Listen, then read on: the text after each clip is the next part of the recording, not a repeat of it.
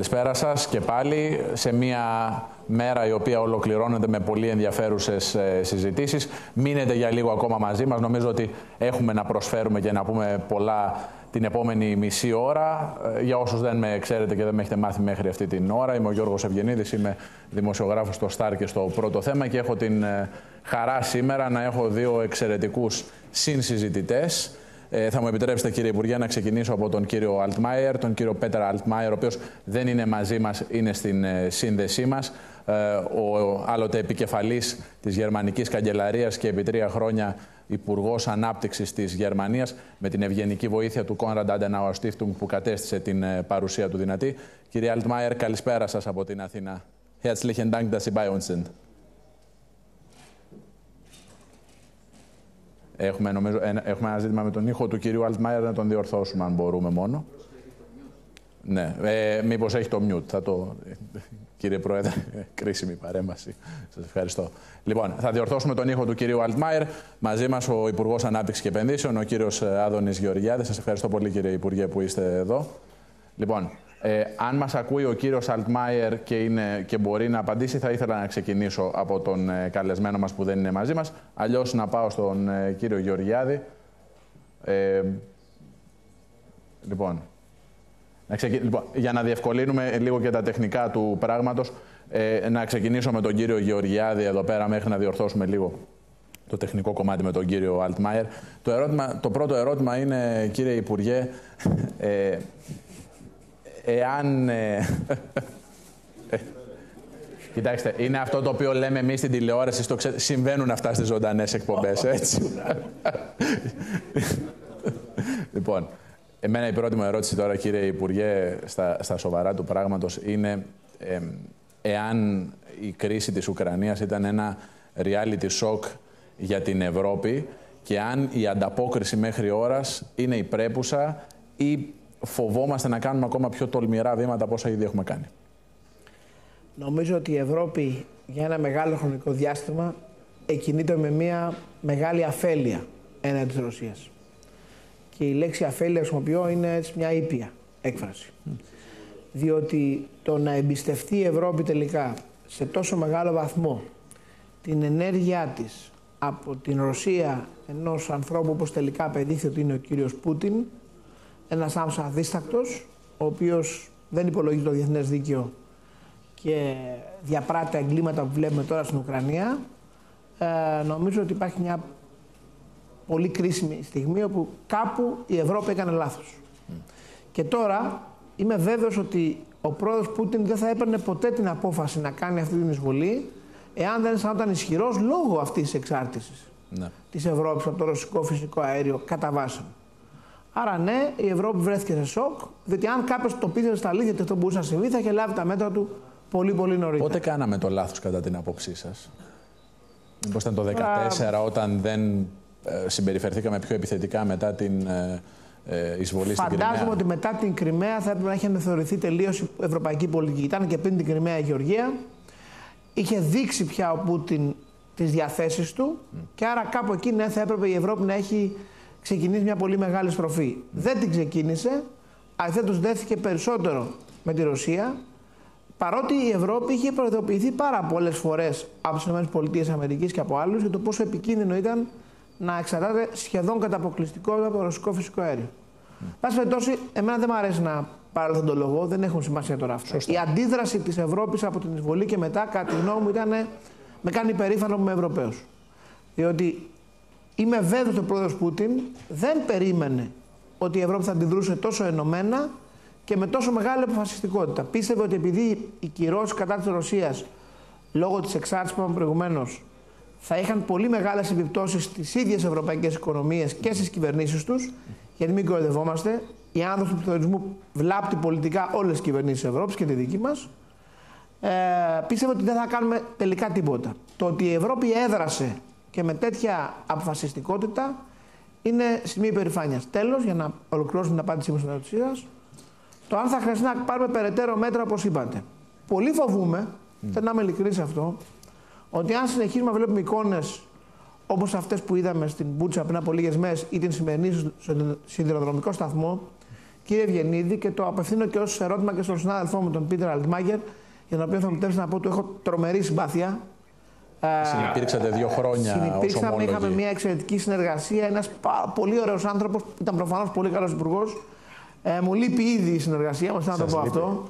Ε, έτσι, και θέλω να τον προσκαλέσω στην Ελλάδα γιατί έχω υποσχεθεί να κάνουμε μια βόλτα στη Βεργίνα και σε άλλες ωραίους αρχαιολογικούς χώρους Συμμερίζομαι τον Πίτερ Ξέρω, Ο κύριος Αλτμάγερ έχει μια ροπή στα κλασικά. Ναι, ναι, είναι πολύ μορφωμένος, μιλάει αρχαία ελληνικά, είναι ωραία παρέα. Πίτερ, σε περιμένω στην Ελλάδα με χαρά, ειλικρινά το λέω. Τώρα, στο καλύτερο σημείο συντονίστηκε ξανά ο κύριος Αλτμάγερ. Έχουμε διορθώσει τον ήχο του κυρίου Αλτμάγερ να ακούσει τα κομπλιμέντα του κυρίου Γεωργιάδη. Νομίζω έχουμε, εξακολουθούμε να έχουμε. Okay. Αλλά να πω λοιπόν κλείνοντας ότι πιστεύω ότι φτάνει ένα σημείο που το να κάνεις οποιοδήποτε είδους business με τη Ρωσία θα είναι ηθικά απολύτως αβάσταχτο. Δεν θέλω να είμαι πάρα πολύ ειλικρινής. Εγώ καταλαβαίνω τα συμφέροντα που έχουν τα κράτη, υπουργός ανάπτυξης είμαι, αλλά άμα κάθε μέρα βλέπω να σκοτώνονται άμαχοι, υπάρχει ένα σημείο στο οποίο δεν μπορείς να συνεχίσεις να κάνεις δουλειές με αυτούς τους ανθρώπους. Και νομίζω ότι η Ευρώπη θα αναγκαστεί να πάρει ίσως πιο σκληρές αποφάσεις στο μέλλον. Ναι, ε, πριν πάω στον ε, κύριο Αλτμάιερ, αν έχουμε διορθώσει την, ε, τον ήχο του κυρίου Αλτμάιερ, θέλω να ρωτήσω κάτι και αμέσως θα πάω στον ε, Γερμανό Υπουργό. Όταν λέτε θα πάρουμε και πιο σκληρά μέσα, πόσο ε, μέτρα, συγγνώμη, πόσο σύντομα μπορεί να γίνει Δεν αυτό; Δεν μπορώ να κάνω την πρόληψη, αλλά θέλω να είμαι σαφής και να είναι ένα μήνυμα, πιστεύω πρέπει να είναι ευρωπαϊκό μήνυμα σαφές προς τη Ρωσία. Δεν μπορεί να σκοτώνεις άμαχο πληθυσμό και να μένεις ατιμόρυτος. Η Ευρώπη έχει κάποιες αξίες. Χωρίς αυτές τις αξίες δεν υπάρχει Ευρώπη. Ε, είναι σαφές αυτό το οποίο λέτε. Λοιπόν, για να δοκιμάσω και πάλι. Κύριε Αλτμάιερ, ε, ελπίζω να μας ακούτε αυτή την ώρα. Ja, ich kann Sie sehr gut hören. Ε, λοιπόν, οπότε το, το, το, πρώτο ερώτημα μετά από όσα είπε ο κύριος Γεωργιάδης, ο συνάδελφός σας, ο οποίος μίλησε και με πάρα πολύ θερμά λόγια για εσάς προσωπικά, είναι εάν αυτό το οποίο βιώνουμε αυτή τη στιγμή με την ε, ρωσική εισβολή θα μπορούσαμε να το έχουμε αποφύγει εάν είχαμε ε, νωρίτερα ε, συνειδητοποιήσει ποιος είναι ο πραγματικός ε, ρόλος της Ρωσίας και αν η Ρωσία ε, ενδεχομένως υποτίμησε και την, την δυνητική αντίδραση της Ευρώπης και το ΝΑΤΟ, του ΝΑΤΟ λόγω αυτής της κατάστασης. Ich glaube, Russland hat äh, zum einen unterschätzt die Stärke der ukrainischen Armee und die Verteidigungsbereitschaft, hat überschätzt seine eigenen militärischen Fähigkeiten und was die Wirtschaftssanktionen angeht. Vielleicht hat äh, Wladimir Putin mit diesen starken Reaktionen nicht gerechnet. Aber ich glaube, äh, dass es für ihn kein entscheidendes Argument war. Äh, Nord Stream 2 war zu keinem Zeitpunkt in Betrieb. Und er musste wissen, wenn es einen Krieg gibt, hat er 13 Milliarden Investitionen verloren und Nord Stream 2 wird wahrscheinlich nie wieder in Betrieb.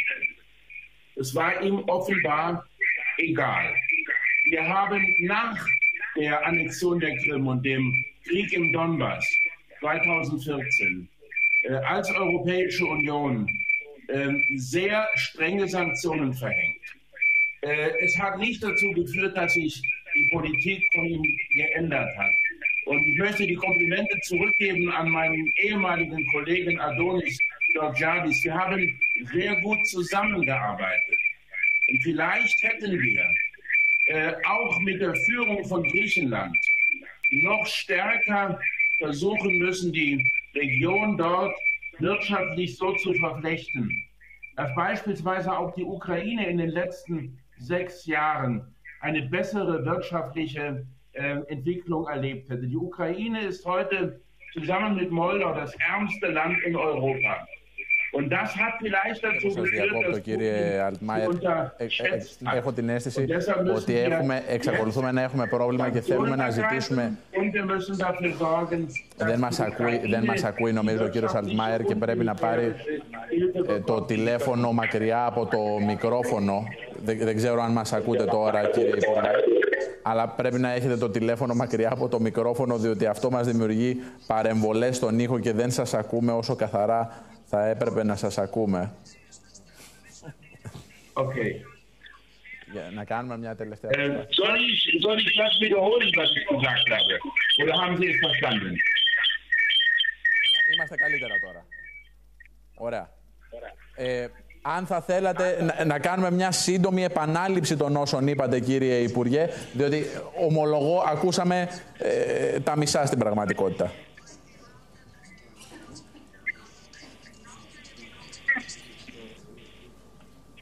Ich mache es äh, so kurz es geht. Zunächst die besten Komplimente zurück an Adonis Georgiadis. Wir haben sehr gut zusammengearbeitet, als ich noch Wirtschafts- und Energieminister war. Und ich freue mich, lieber Adonis, äh, dass du weiterhin diese Verantwortung trägst. Und ich glaube, Griechenland kommt eine viel größere Rolle zu.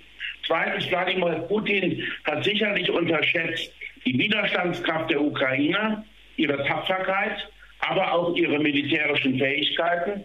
Zweitens, er hat unterschätzt die Geschlossenheit des Westens. Und drittens, ich glaube, es war ihm egal, ob der Westen Wirtschaftssanktionen verhängt oder nicht. Ähm, er hat äh, wissen müssen, dass Nord Stream 2 wahrscheinlich nie in Betrieb genommen wird, äh, wenn er die Ukraine überfällt und angreift.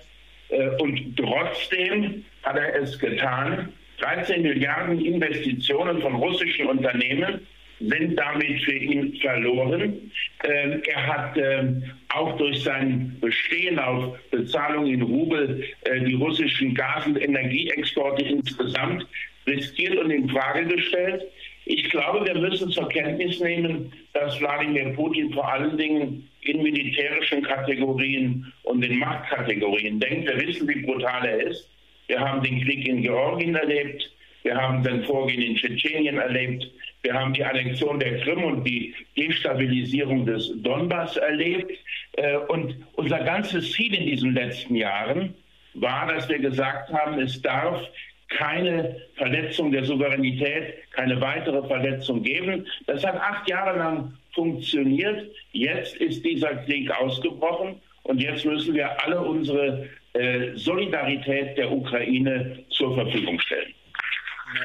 Θα μου επιτρέψετε απλά, κύριε, θα μου επιτρέψετε, κύριε Αλτμάιερ, ε, να επιμείνω σε ένα σημείο από αυτά τα οποία είπατε. Είπατε ότι ε, ο κύριος Πούτιν αδιαφορούσε για το ενδεχόμενο κυρώσεων, αλλά εμείς την ίδια ώρα στην Ευρώπη ξέραμε τι είναι στην πραγματικότητα ο κύριος Πούτιν, διότι είχαμε τα δείγματα από την Τσετσενία, από τη Γεωργία, από την Κρυμαία και το ερώτημά μου δεν μπορεί παρά να είναι ευθύ.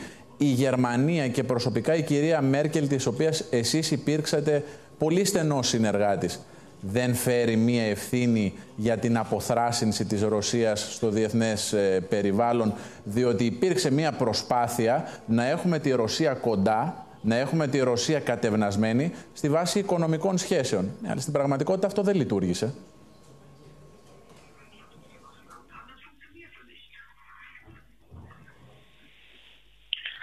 Wir, können, wir können sehr gerne darüber diskutieren, was in der Vergangenheit falsch gelaufen ist.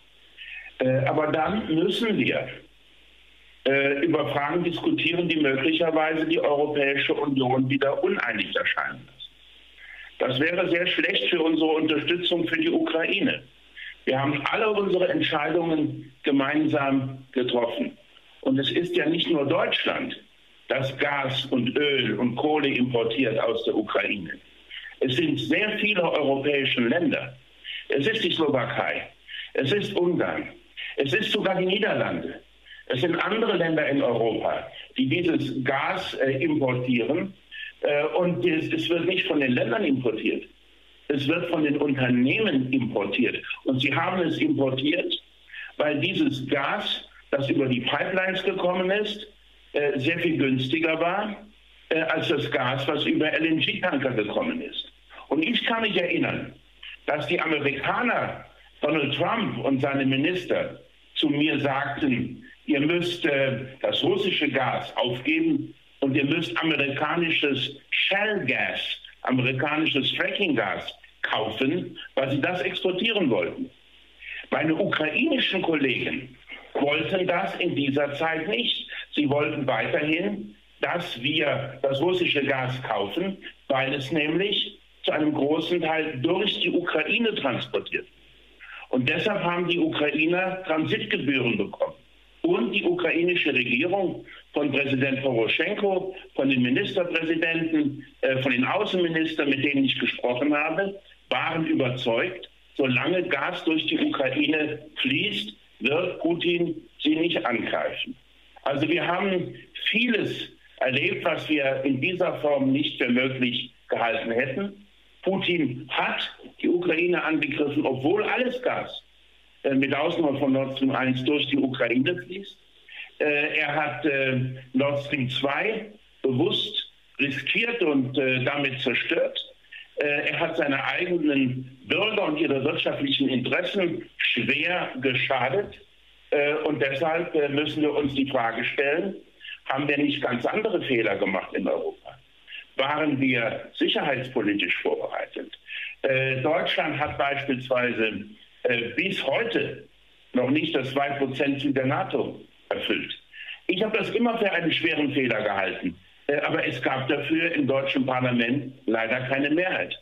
Und die europäische Sicherheits- und Verteidigungspolitik ist nicht so stark und nicht so, äh, äh, ähm, und nicht so äh, effektiv, wie sie eigentlich sein müsste. Wir diskutieren seit 30 Jahren darüber. Zustande gebracht haben wir noch nicht sehr viel. Deshalb müssen wir in Europa aufwachen und müssen aus dieser Aggression, aus diesem Überfall, aus diesem Krieg gegen die Ukraine viel mehr Konsequenzen ziehen, als wir bisher gezogen haben. Ε, πολύ δημοσιογραφικά, ο κύριος Αλτμάιερ δίνει μια πολύ ωραία πάσα για να έρθω εδώ στον ε, κύριο Γεωργιάδη. Το είπε ο κύριος Αλτμάιερ. Πραγματικά για τους Γερμανούς γνωρίζοντάς τους είναι reality shock να συζητάνε για ενίσχυση της αμυντικής ικανότητας της χώρας τους. Το ερώτημα είναι, κύριε Υπουργέ, εάν η Ευρώπη μπορεί μέσα σε λίγα χρόνια να κάνει σε αμυντικό, στρατηγικό και γεωπολιτικό επίπεδο βήματα τα οποία ανέβαλε επί δεκαετίες, γενόμενη μια οικονομική και νομισματική ένωση, αλλά όχι στην πραγματικότητα μια ένωση με, με κοινές γεωπολιτικές και στρατηγικές επιδιώξεις. Νομίζω κύριε Ευγενίδη και αγαπητέ Πίτερ, ζούμε ένα πολύ μεγάλο ιστορικό γεγονός. Πολύ μεγαλύτερο από αυτόν καθ' αυτόν τον πόλεμο στην Ουκρανία. Για να μπορέσει η Ευρώπη να μεταξελιχθεί από μια απλή ένωση οικονομιών. Μια πολύ πετυχημένη ένωση οικονομιών, γιατί θέλω να το ξεκαθαρίσω. Εμένα μου αρέσει η Ευρώπη.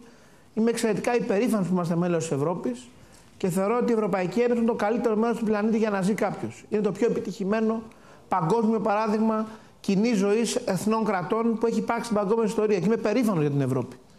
Όμως η Ευρώπη δίσταζε να κάνει το επόμενο βήμα. Να γίνει κάτι πολύ περισσότερο από την Ένωση των Οικονομιών των Κρατών. Πιστεύω ότι το μέλλον της Ευρώπης δεν μπορεί παρά, παρά, να είναι μια ομοσπονδία.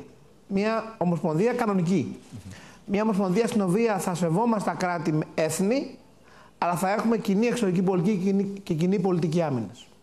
Αυτό για να γίνει δεν μπορεί να γίνει αν δεν φτιάξει η Ευρώπη κοινή πολιτική άμυνας, αν δεν διαθέσει αμυντικές δαπάνες, αν δεν μπορέσει να, να δείξει ότι σκοπεύει να είναι έτοιμη να υπερασπίζεται τα σύνορά της έναντι της Βουλής. Φέρνω ένα παράδειγμα για να το καταλάβει ο φίλος Πίτερ πώς το εννοώ εγώ. Το να μιλάει η Ευρώπη με την Τουρκία, ενώ η Τουρκία κατέχει ευρωπαϊκό έδαφος στην Κύπρο, εντάξει, υπάρχουν πολιτικοί λόγοι για αυτό που το δικαιολογούν, αλλά αν το δει κάποιος από μακριά και το κοιτάξαν ένας ιστορικός επιστήμονας που θέλει να ερευνήσει τι ήταν η Ευρώπη εκείνη την περίοδο, τουλάχιστον παράλογο. Είναι σαν να μίλαγα οι ΗΠΑ, αν ξέρω κάποιος πήγε να καταλάβει τη Χαβάη, ή πήγε να καταλάβει ε, τη Γρανάδα, ή πήγε να καταλάβει το Πορτορίκο. Θα μίλαγε έστω η Αμερική με αυτόν, ποτέ. Εδώ μιλάμε με την Τουρκία όμως. Γιατί η Ευρώπη ποτέ δεν ξεπέρασε την αρχική της φάση. Το να γίνει κάτι παραπάνω από την Ένωση των Οικονομιών. Τώρα όμως η Ευρώπη έχει μια καινούργια κατάσταση. Αυτό είναι το ιστορικό γεγονός τώρα αισθάνεται και στρατιωτική απειλή. Ναι. Σε αυτή τη στρατιωτική απειλή πια που αισθάνεται, ξαφνικά συνειδητοποίησαν όλοι στην κεντρική Ευρώπη ότι αν ο Πούτιν το αποφάσιζε, θα έμπαινε στη Ρουμανία, στη Βουλγαρία, στην Ουγγαρία, στη Σλοβακία, χωρίς να σταματήσει κανένας. Εντάξει, δεν θα ήταν τόσο απλό. Θα αν το αποφάσιζε. Ναι, αλλά αν υπάρχει το ΝΑΤΟ. Ναι, ναι. Το Εκεί ΝΑΤΟ είναι έδαφος ΝΑΤΟ. Φυσικά. Το ΝΑΤΟ όμως είναι ένα κομμάτι. Υπάρχουν και χώρες της Ευρώπης που δεν είναι μέλος του ΝΑΤΟ. Σωστά. Αν αποφάσισε να μπει στη Φιλανδία δεν είναι το ΝΑΤΟ. Σωστά. Αν αποφάσισε να μπει στη Σουηδία δεν είναι το ΝΑΤΟ. Αν αποφάσισε να μπει στην υπερδνηστερία δεν είναι το ΝΑΤΟ, που είναι και επικίνδυνο. Άρα Τώρα για πρώτη φορά η Ευρώπη καταλαβαίνει, όσο και αν δεν το λέει, ότι ωραία στην business, αλλά αν θέλει να μας παίρνει κανένας στον πλανήτη σοβαρά, πρέπει να γίνουμε κάτι παραπάνω από αυτό. Και εγώ προσωπικά χαίρομαι πάρα πολύ που ο καγκελάριος Σόλτς αποφάσισε να εξαγγείλει 100 δισεκατομμύρια ευρώ αμυντικές δαπάνες από τη Γερμανία. Το θεωρώ σημαντικό. Εγώ θέλω τη Γερμανία ισχυρή και στρατιωτικά. Το αξίζει. Ο δεύτερος παγκόσμιος πόλεμος είναι παρελθόν. Η, Ευρώπη, η Γερμανία δεν έχει να αποδείξει τίποτα σήμερα ω προ τη δημοκρατία της, ω προ τα ανθρώπινα δικαιώματα που σέβεται, ω προ τον πολιτισμό της. Και χρειαζόμαστε τη Γερμανία ισχυρή και σε αυτό. Και πάνω σε αυτόν τον άξονα θα οικοδομήσουμε την κοινή μας αμυντική πολιτική και θα οικοδομήσουμε μια Ευρώπη πολύ πιο ομοσπονδιακή από ό,τι είναι σήμερα. Το οποίο εγώ προσωπικά το θέλω και το υποστηρίζω. Mm Θεωρώ το μέλλον των κοινών ευρωπαϊκών λαών είναι μια πιο σφιχτή Ευρώπη και τότε θα μπορέσει η Ευρώπη να γίνει και πιο ανταγωνιστική οικονομικά και να την παίρνουν σοβαρά περισσότερο και οι άλλοι παίκτες. Γιατί σήμερα, να ξέρετε, και κλείνω με αυτό, πέρα τώρα της Ουκρανίας και της Ρωσίας, ζούμε και σε μια περίεργη εποχή. Πια υπάρχουν μεγάλοι παίκτες στην αρένα. Δεν είναι μόνο οι Ηνωμένες Πολιτείες. Ναι. Είναι η Κίνα. Σωστά. Είναι η Ινδία. Άρα για να σε πάρουν σοβαρά πρέπει να σε υπολογίζουν. Το μέγεθος μιας κάθε μια, ακόμα και της Γερμανίας, χώρας της Ευρώπης μόνης της, δεν είναι συγκρίσιμο. Όλη η Ευρώπη μαζί όμως είναι πραγματικά μια πολύ μεγάλη ισχυρή δύναμη. Και πρέπει αυτό η Ευρώπη να το επιδιώξει ως δύναμη, το τονίζω, ειρήνης και σταθερότητας. Ναι. Όχι φυσικά ως δύναμη, υπεριαλιστική δύναμη πολέμου. Ναι. Ε, ε, είναι, είμαστε νομίζω πάντως μπροστά σε πολύ ενδιαφέρουσες εξελίξεις το επόμενο διάστημα και σε αυτό το κομμάτι και θέλω να έρθω πάλι στον ε, κύριο Αλτμάιερ τώρα ε, για να ρωτήσω κάτι άλλο και ελπίζω θα το απαντήσετε με την ευθύτητα που απαντήσατε και τις προηγούμενες ερωτήσεις μου. Αλλάζει αυτή η εξέλιξη, κύριε Αλτμάιερ, και την, το οικονομικό περιβάλλον που ζούμε; Ρωτώ, γιατί, διότι το 2023 θεωρητικά το σύμφωνο σταθερότητας ε, επανέρχεται σε ισχύ. Ε, μήπως είναι αυτή ε, μια ευκαιρία για μια αλλαγή πορείας και για μια, πώς να το πω, μια απόκληση από τους ε, πιο αυστηρούς, σκληρούς κανόνες της δημοσιονομικής πολιτικής που γνωρίζαμε τα προηγούμενα χρόνια και την περίοδο των ευρωπαϊκών πακέτων διάσωσης.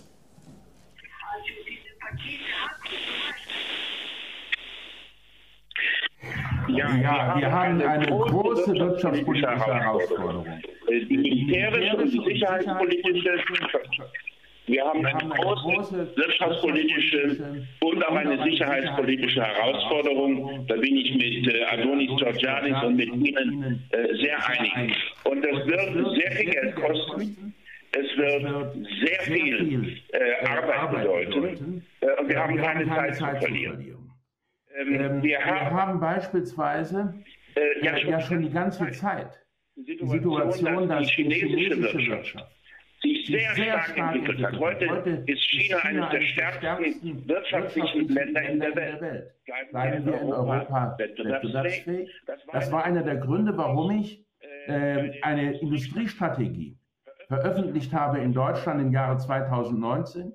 Inzwischen hat ganz Europa eine Industriestrategie und wir geben Milliarden aus, um äh, die Produktion von Mikrochips und Halbleitern in Europa auszubauen. Wir haben es geschafft, die Batteriezellproduktion für die elektrischen Autobatterien wieder nach Europa zu holen. Aber das ist nur ein kleiner Anfang. Und wenn das Ergebnis dieser Krise wäre, dass China, Russland und Indien, drei Länder mit insgesamt rund 4 Milliarden Einwohnern, dann einen neuen Block bilden und zusammenarbeiten mit den russischen Rohstoffen, äh, mit der chinesischen Technologie und mit dem großen Potenzial an Arbeitskräften in Indien, dann hätten wir noch ganz andere Herausforderungen. Also müssen wir alles tun, damit die Europäische Union stark ist. Zum Beispiel auch die Freihandelsabkommen mit äh, Mercosur in Südamerika ratifizieren. Und was die Fiskalpolitik angeht, äh, wir haben nicht so viel Austeritätspolitik gemacht in den letzten Jahren. Wir haben bei der Euro-Rettung gesagt, äh, oder Mario Draghi hat es gesagt als Präsident der Zentralbank, whatever it takes. Äh, wir haben in Ländern wie Griechenland erlebt, dass eine gute Politik auch gerade von dieser Regierung, äh, von äh, Adonis und seinen Kollegen gemacht worden ist. Äh, und wir haben durch die Anleihenkäufe, da hat die EZB dazu beigetragen, dass es möglich war, für viele hundert Milliarden äh, Euro. Wir haben in der Corona-Pandemie gesagt, wir machen keine Austeritätspolitik. Wir schauen nicht auf die Fiskalregeln. Wir haben gesagt, whatever it takes. Und äh, wir haben 750 Milliarden ausgegeben für die Wiederaufbau- äh, und Resilienzfazilität. Äh, dieses Geld, dieses Geld musste nicht eingespart werden von den Ländern, sondern wir stellen es zur Verfügung on top. Und äh, nun müssen wir darüber nachdenken, wie wir Prioritäten setzen. Ich glaube allerdings, eines ist auch richtig. Wenn äh, wir sagen, es, das, die Fiskalpolitik spielt gar keine Rolle mehr, dann werden weltweit die Zinsen so stark steigen, auch in Europa, dass dann Länder wie Griechenland äh, oder Portugal ganz besonders große wirtschaftliche Schwierigkeiten haben, weil die Spreads dann wieder so stark auseinandergehen, die Höhe der Zinssätze, dass es dann für die wirtschaftliche Entwicklung in diesen Ländern ein Problem ist. Also müssen wir das gemeinsam lösen. Wir haben gezeigt, dass wir flexibel sein können, wenn wir Flexibilität brauchen. Aber richtig ist auch, wir müssen den Green Deal, wir müssen die Industriepolitik, wir müssen die Innovation, die Digitalisierung so umsetzen, dass wir gegenüber China, gegenüber Indien und natürlich auch gegenüber Russland jederzeit wettbewerbsfähig bleiben, dass wir wirtschaftlich und militärisch stark sind. Und dafür haben wir nicht 20 Jahre Zeit, nicht 10 Jahre Zeit. Das muss in den nächsten Jahren organisiert werden. Ε, πλησιάζουμε στο τέλος της συζήτησής μας Και θα ζητήσω από την ε, συνάδελφό μου την Εκταρία τη Σταμούλη και τον πρόεδρο τον κύριο Κούρτη δύο λεπτάκια υπομονή λόγω των τεχνικών θεμάτων που είχαμε με τον κύριο Αλτμάιερ. Έχω μια τελευταία κοινή ερώτηση. Ε, αν μου την απαντήσετε πρώτα εσείς κύριε Γεωργιάδη θα ήταν ε, χρήσιμο. Η κρίση του πληθωρισμού είναι αποσταθεροποιητική τώρα για το πολιτικό σύστημα και να σας το δώσω και με ένα παράδειγμα ε, μιας και συζητάμε για το απότοκο, για τον, για, μάλλον για το περιβάλλον αυτό το νέο που διαμορφώνεται. Ο κύριος Μακρόν στις αρχές του πολέμου στη Γαλλία ήταν φαβορή στα Γκάλοπ. Τον ευνόησε πάρα πολύ η συνθήκη του πολέμου. Όσο όμως η αγωνία για τις πολεμικές επιχειρήσεις αντικαθίσταται από την αγωνία των οικοκυριών και των επιχειρήσεων για το πώς θα ανταποκριθούν στο αυξημένο ενεργειακό κόστος, η κυρία Λεπέν, η οποία είναι γνωστή για τις ε, φιλοπουτινικές της θέσεις, ενδεχομένως και για τη χρηματοδότηση του ίδιου του κόμματός της από ρωσικούς πόρους, έχει κλείσει την ψαλίδα και εντάξει, μπορεί να μην κερδίσει, αλλά άμα κερδίσει ο πρόεδρος Μακρόν 55-45, δεν θα το λες και πολύ καλό αποτέλεσμα για έναν ε, ηγέτη απέναντι σε μια ακροδεξιά πολιτικό. Άρα βλέπετε ενδεχομένως κινδύνους πολιτικούς να είναι μπροστά μας. Καταρχάς, άμα κερδίσει, κερδίζει. Εντάξει. Μια χαρά είμαστε. Λοιπόν, τώρα ε. πάμε στο, στο ερώτημα. Πιστεύω ακράδαντα ότι ένα από τα σημεία στα οποία έχει ποντάρει ο πρόεδρος Πούτιν είναι η αποσταθεροποίηση των δυτικών δημοκρατιών και λόγω των επιπτώσεων των κυρώσεων στις ίδιες τις οικονομίες μας. Πιστεύω ότι στα μάτια του Προέδρου Πούτιν είμαστε εμείς οι δυτικοί διεφθαρμένοι και αδύναμοι. Οι λαοί μας είναι καλοζωισμένοι και καλομαθημένοι και πιστεύει ότι από την ε, κρίση που έχει φέρει ο πληθωρισμός του πολέμου θα υπάρξουν ε, πολιτικά γεγονότα στην Ευρώπη που θα διασπάσουν τη συμμαχία. Θέλω να είμαι μαζί απολύτως βέβαιος. Έχω μεγάλη πίστη στη Δύση και μεγάλη πίστη στις δημοκρατίες μας. Στο τέλος, τίποτα από αυτά δεν μπορεί να συμβεί. Okay.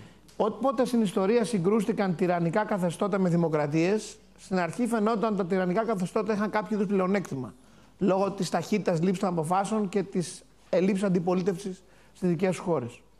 Στο τέλος όμως, πάντα οι δημοκρατίες κερδίζουν. Διότι οι λαοί στέκονται δίπλα από τις αξίες που τους ενώνουν. Άρα δεν φοβάμαι καθόλου ούτε για τις εκλογές στη Γαλλία, ούτε για ό,τι θα γίνει στην Ελλάδα πουθενά. Όσοι υποστηρίζουν το δίκαιο, και το δίκαιο τώρα είναι ο αμυνόμενος Ουκρανικός λαός έναντι της παράνομης εισβολής, το δίκαιο είναι οι αθώοι άνθρωποι που σκοτώνονται που είδαμε σήμερα στο σταθμό του τρένου, το δίκαιο είναι η υπεράσπιση της δημοκρατίας και του δικαιώματος των κρατών να αποφασίζουν ελεύθερα σε ποια συμμαχία θέλουν να είναι. Αυτό στο τέλος θα το ψηφίσουν, θα το υποστηρίξουν οι ευρωπαϊκοί λαοί και στις εκλογές. Θα περάσουμε δύσκολα. Ναι. Σε κανένα δεν είναι ευχάριστο να του συμβαίνει. Εγώ, ως Υπουργός Εμπορίου, θα δέχομαι ε. μεγαλύτερη πολιτική πίεση και μεγαλύτερο πολιτικό κόστος. Αλλά για να υπερασπιστώ τη δημοκρατία είμαι πολύ πρόθυμος να το, να το, να το αναλάβω. Τέλος, επειδή δεν θα έχω προφανώς άλλο, άλλο, χρόνο, να πω μόνο κάτι προς το φίλο μου τον Πίτερ Αλτμάγερ, γιατί δεν θέλω να φανούμε αχάριστοι.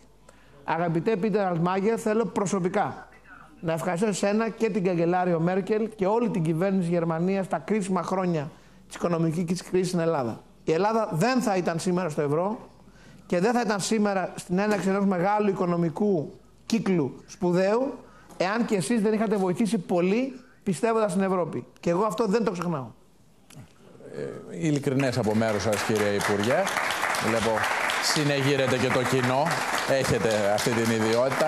Κύριε Αλτμάιερ, να ολοκληρώσουμε, αν θέλετε, τη συζήτησή μας με την... Ε, ε, να ολοκληρώσουμε, λέω, την συζήτησή μας, κύριε Υπουργέ, κύριε Αλτμάιερ, με τη δική σας εκτίμηση, εάν υπάρχει κίνδυνος επαναφοράς του λαϊκισμού στην Ευρώπη σε πολλές χώρες λόγω της ρωσικής εισβολής στην Ουκρανία και του περιβάλλοντος που διαμορφώνεται με την ενεργειακή ακρίβεια για νοικοκυριά και επιχειρήσεις.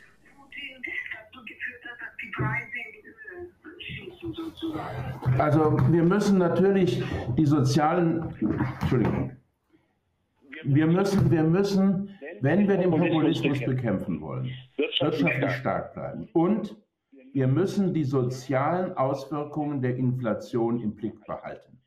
Äh, ich mische mich nicht in die äh, Zuständigkeit der neuen Bundesregierung ein. Das ist eine Frage des Stils, dass der Vorgänger nicht dem Nachfolger äh, und der neuen Regierung Ratschläge öffentlich gibt. Aber ich glaube zum Beispiel, dass wir schon dafür sorgen müssen, dass ähm, Rentner, Pensionäre, Menschen mit einem relativ geringen Einkommen nicht durch die steigenden Energiepreise und Rohstoffpreise äh, völlig äh, verarmen äh, und sich ihren Lebensstandard nicht mehr leisten können.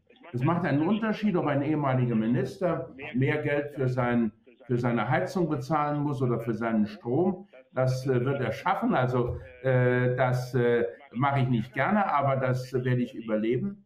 Aber es ist eben für einen Rentner in Deutschland, der nur 800 oder 900 Euro Rente im Monat hat, der Miete bezahlen muss, schon ein großes äh, Problem. Und zweitens, wir müssen dem Populismus die Stirn bieten. Wir müssen sagen, dass Populismus in die Unfreiheit führt. Äh, ich bin überzeugt, dass äh, Emmanuel Macron eine sehr, sehr große Chance hat, Präsident in Frankreich zu bleiben. Wir haben erlebt, dass die populistische Rechtspartei in Deutschland, die AfD, den Höhepunkt ihrer Zustimmung überschritten hat. Und wir haben gesehen, dass es auch möglich ist, äh, in Italien und in Griechenland stabile Regierungen zu haben, die nicht populistisch sind. Äh, das sind äh, sehr positive Ergebnisse unserer Zusammenarbeit in der Europäischen Union. Ja, und lieber Adonis, was du gesagt hast, das stimmt. Es gab eine andere Regierung in Griechenland im Jahre 2015. Und damals gab es einen Finanzminister, ähm, Herr Varoufakis, äh, der war der Auffassung, er könne die Europäische Union, äh, er könne ihnen Bedingungen diktieren. Und dann haben alle Finanzminister gesagt, ähm, und Wolfgang Schäuble war äh, ja der wichtigste und bedeutendste, und dann hat Wolfgang Schäuble dann irgendwann gesagt, is over. Das heißt auf Deutsch so gut, es ist vorbei. Griechenland gehört nicht zum Euro. Und wir wussten, dass ähm, wir mit dieser Regierung sehr schwer hatten, aber wir wussten, es geht nicht um die Regierung von Herrn Varoufakis, der dort Finanzminister ist, sondern es geht um Griechenland, um ein großartiges Volk. Es geht um Menschen, die Beziehungen zu Deutschland haben. Das deutsche Recht wäre ohne griechische Intellektuelle und Rechtsprofessoren ganz anders. Die Soziologie, vieles, was wir erleben, äh, wäre ohne Griechenland nicht entstanden. Und deshalb haben die Bundeskanzlerin Angela Merkel und ich war damals ihr Kanzleramtsminister, ihr Chief of Staff. Wir haben damals gesagt, nein, es ist nicht vorbei, sondern äh, natürlich Griechenland muss Reformen machen, die sind schmerzhaft, aber dann sind wir auch bereit zu helfen. Und die neue Regierung hat eine sehr gute Wirtschaftspolitik umgesetzt und das zeigt, dass unsere Entscheidung damals richtig war. Es war gut und es war richtig, den Euro zu erhalten. Und wir wären heute auch gegenüber Putin und Russland in einer viel schlechteren Position. Und deshalb glaube ich, dass wir natürlich vielleicht auch den einen oder anderen Fehler gemacht haben, aber in dieser Frage haben wir alles richtig gemacht. Σας ευχαριστώ πάρα πολύ για την συζήτηση που είχαμε. Κύριε Υπουργέ, κύριε Αλτμάιερ, ευχαριστώ πάρα πολύ για τον χρόνο σας και για όσα μας είπατε και που ήσασταν κοντά μας. Excuse me for taking five minutes of your time. I'm handing over to Nectaria Stamoulian, the Prime Minister. Thank you very much.